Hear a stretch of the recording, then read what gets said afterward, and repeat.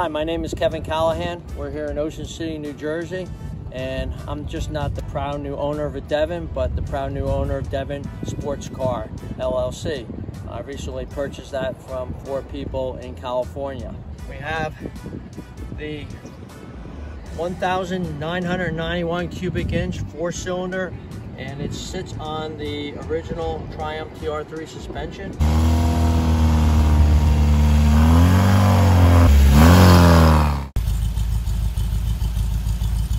1974. VW thing. Yeah, my wife and I have owned over 60 fun cars. This is the only one we wouldn't sell.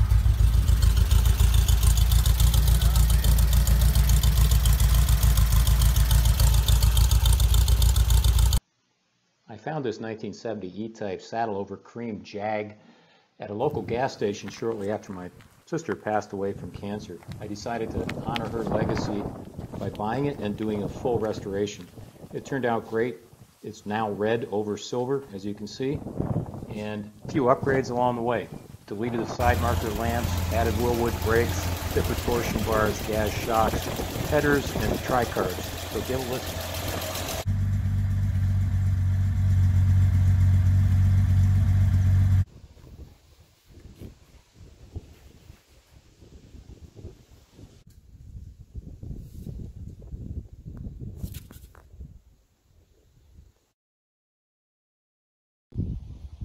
This 1951 European car is seldom recognized by people on the street, and a surprising number of uh, car people don't recognize it.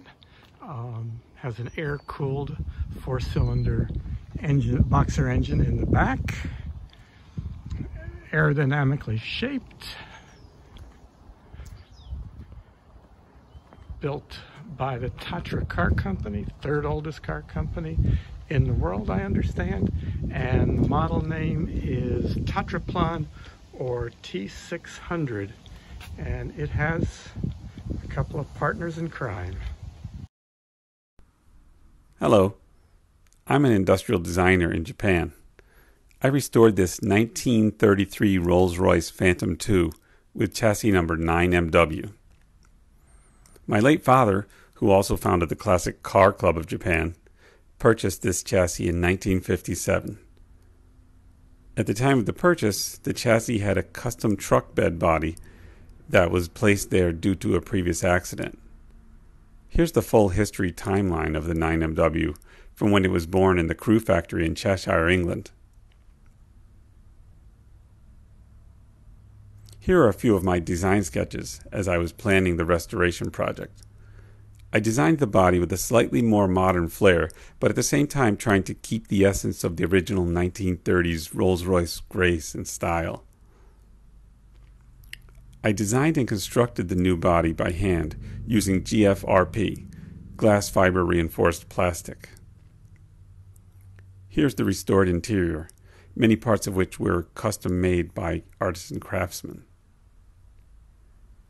And here, of course, is the engine compartment and the side view of the car. The restoration was completed around the year 2014. Thank you very much for watching, and thank you to the Petersen Automotive Museum for this opportunity.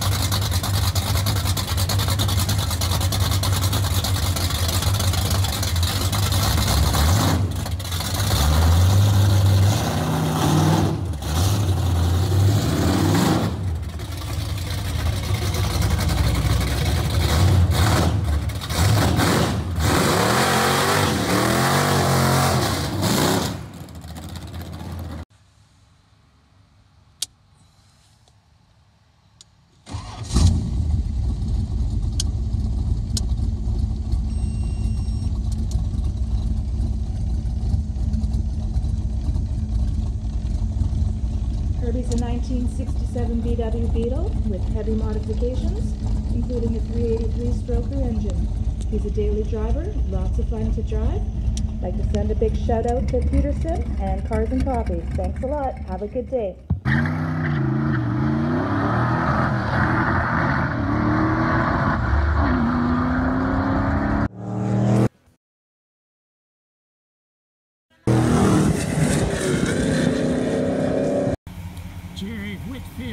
Winston-Salem, North Carolina, 1956 Plymouth Suburban station wagon. Color is seafoam green with white top, repainted as original. The engine is a 1958 engine, 318, producing 240 horsepower. The only changes that I made other than the engine were to add power steering, power brakes, air conditioning, and lap belts. I'm going to show you the interior. The engine's got less than 400 miles. Give a little help. But this hardly ever gets used. Yeah, it's, it just it needs a little help. Yeah, right. Oh my gosh. So this is the car. It has my name on it. And then this is for you. We have to write you put your name on here. Cool. I mean, that's, um, I, you know, and I had, I put it in the, in the. So th- this is what they had at the, um, yeah, at your show. And then, um, and I think, I think this is, the this is the, con- I mean, that was always the, that was the, I saw one guy, um, who had a five forty, um, and he, uh, um, from, a guy from Texas.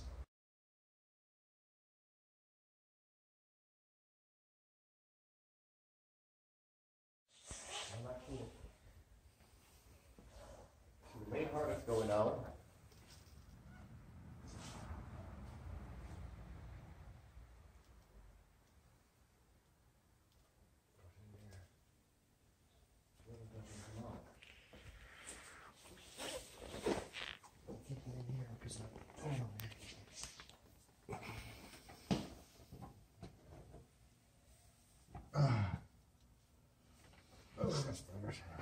Spiders. They're little ones, though.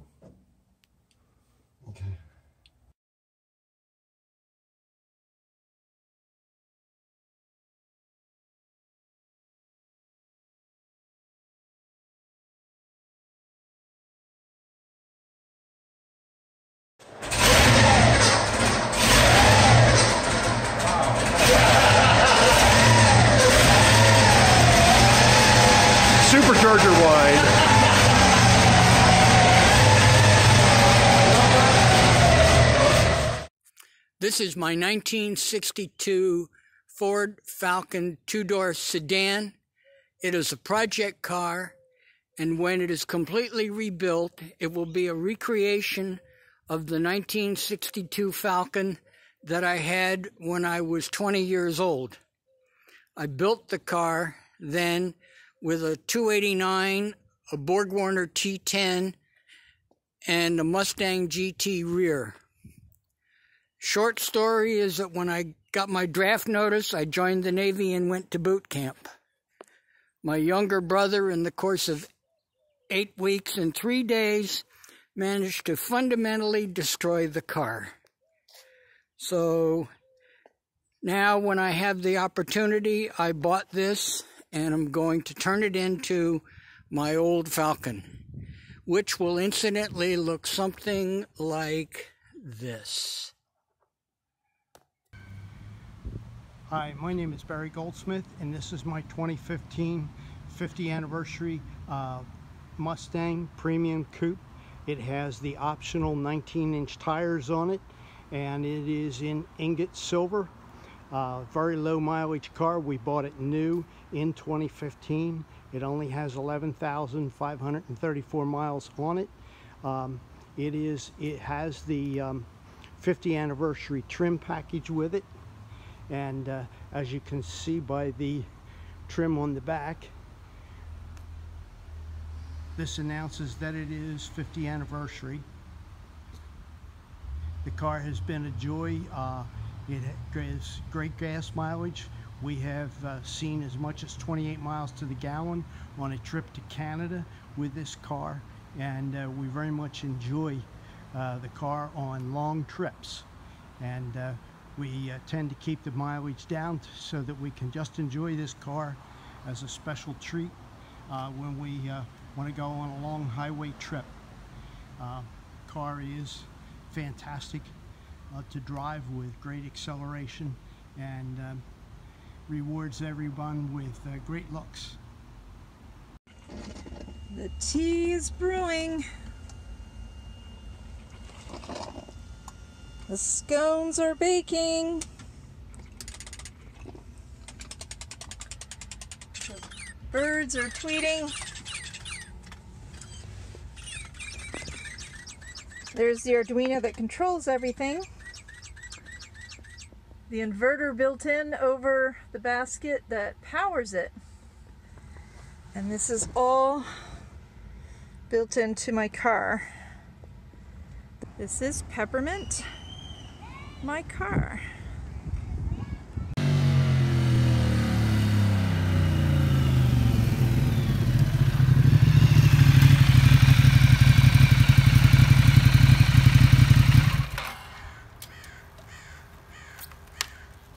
Hello, Petersen Museum Cars and Coffee. This is Rick White from the Santa Barbara Woody Club.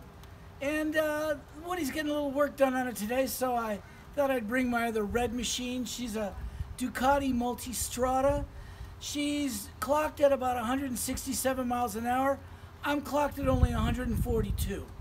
So it's a great bike. I, I bought it in Italy. Well, I didn't buy it in Italy. That's a little bit of a lie. I rode it in Italy. I bought it here. And it's a great bike. And it's Italian, so it does weird things. Ciao, Arrivederci Petersen Museum.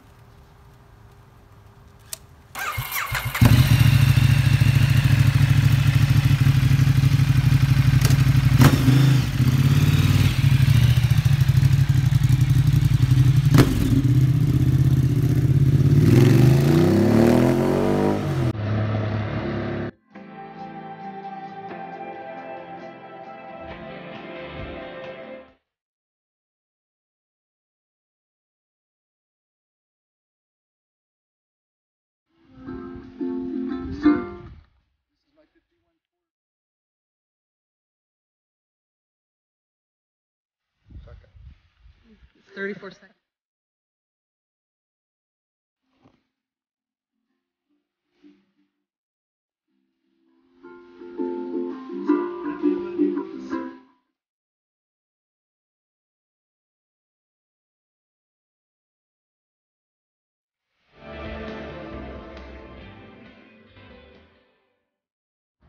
Hey, Petersen Museum Cars and Coffee.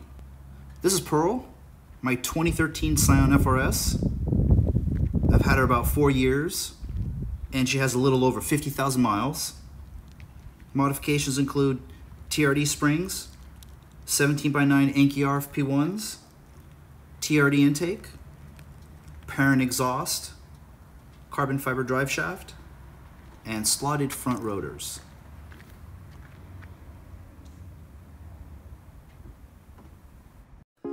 Hello, my name is Anthony, and I am the proud owner of a 1981 DeLorean DMC 12. The body consists of brushed stainless steel.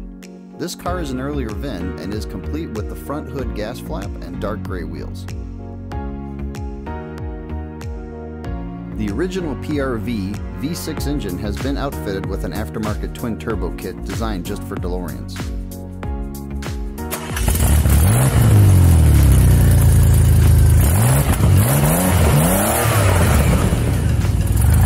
Thanks, Petersen, for the opportunity to let me share my dream. Take care. Our 1939 Packard 120 convertible coupe is a part of our family. And we've had the Packard since 1971. Uh, therefore, we're uh, excited to have uh, the Packard in our family room. Since 1964, I've attended most every national meet at Hershey, and in 1971, we bought our Packard at the Hershey meet, and it wasn't until this past year, 2019, that I felt the car was ready to be judged. Our Packard was awarded the National First Prize Junior Award, and we hope to get a senior in 2020 if the pandemic allows us to have a meet. 2020 Triumph Street Triple RS. The RS is the top of the line Street Triple. For that you get Brembo brakes and Öhlins shocks. And I didn't realize it until recently. I went to Daytona, demoed a bunch of bikes, and uh, big difference in the suspension and braking. You, you get what you pay for. Um, the license plate is Scalpel. I, I traded my uh, 790 Duke uh, KTM in for this bike and uh, I couldn't be more happy. Still breaking it in and it, it's just amazingly smooth, fast, uh, easy to ride, compliant, um, a lot of good adjectives. I happen to love the uh, Street Triple. I had a Speed Triple back in 99, a Mission Impossible bike, but this one really hits a sweet spot in terms of being light, maneuverable, great for the city. Um, uh, once it's in your blood, it stays there. I'm, I'm, i love driving my car too, but uh, riding is a whole nother experience. Have a good day.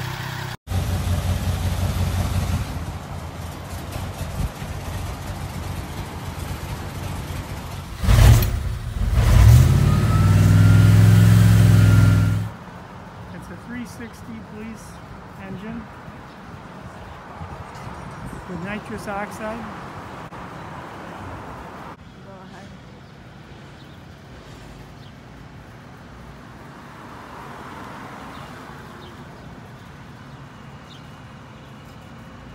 It has nitrous oxide. Inside also. It has 25,000 miles on it.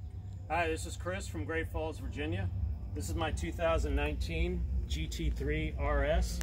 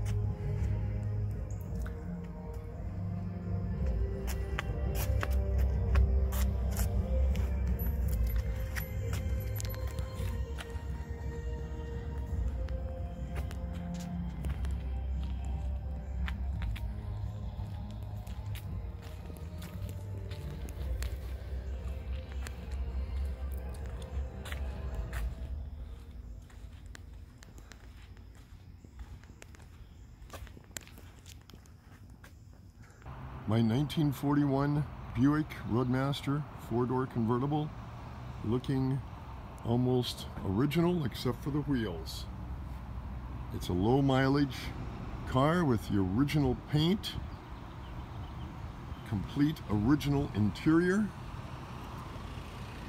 leather interior, and uh, the dash and everything is still in very nice condition. Under the hood is the Good afternoon, Petersen Automotive fans. My name's Chris. I'm from Westford, Massachusetts. I'm here to talk to you about my 2016 BMW M5 competition package. This car has 575 horsepower at the rear wheels, 630 horsepower at the crank. It'll do 0 to 60 in under 4 seconds and the quarter mile in under 12 seconds. It is the ultimate sleeper. Has active seats which will massage my butt while it does it. we'll show you more on that maybe, but really this is what I wanted to talk to you about. This is my 1965 bucket list item. It is a 1965 fastback Mustang 2 plus 2, numbers matching 289 C code with the top end rebuilt Edelbrock manifold, Edelbrock manifold intake, headers. I don't have it dynoed yet. Uh, aluminum radiator. We have done some considerable work. Interior custom leather, tuxedo, black and white, four-speed Hurst shifter on a top loader. And I'm gonna start this bad boy up for you. Custom interior in the trunk as well. See the pony? And out the back, the duals just coming down the back, so you're not really sure if it's mean or not, unless it's running. So bear with me as I start it up real quickly.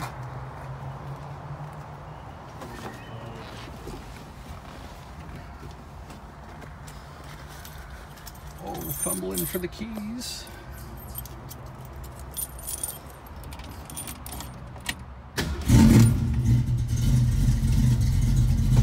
Sounds pretty bad. Actually, I like to call it Jack. It's a tribute to my grandfather. Salvatore, his nickname was Jack. He had a 67 Mustang. I bought this 65 in his honor. Thank you again to Petersen Automotive. Please keep this up. Everyone stay healthy and safe. Thanks for watching. Make sure to click subscribe, comment, and like for more videos like this one.